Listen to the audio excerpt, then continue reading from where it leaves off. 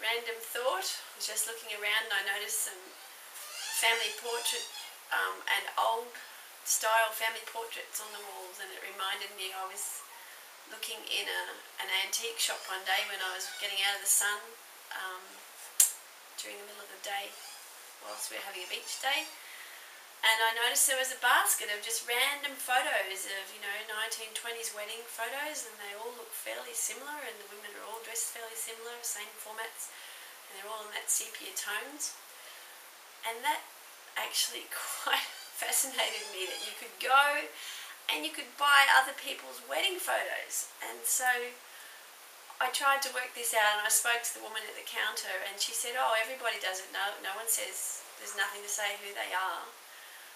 And I found that fascinating because often the people who have got all their historic photos, they think, oh, what am I going to do with these? Oh, do I really have to display them?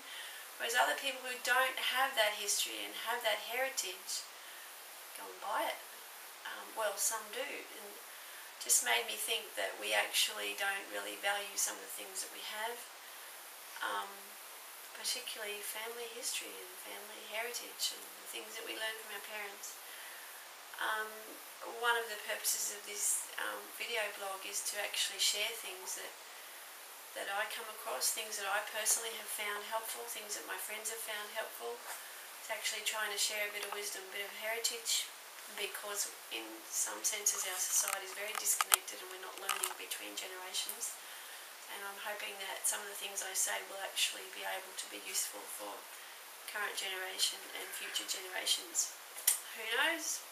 You never know. So thank you for listening. This is Sharon sharing.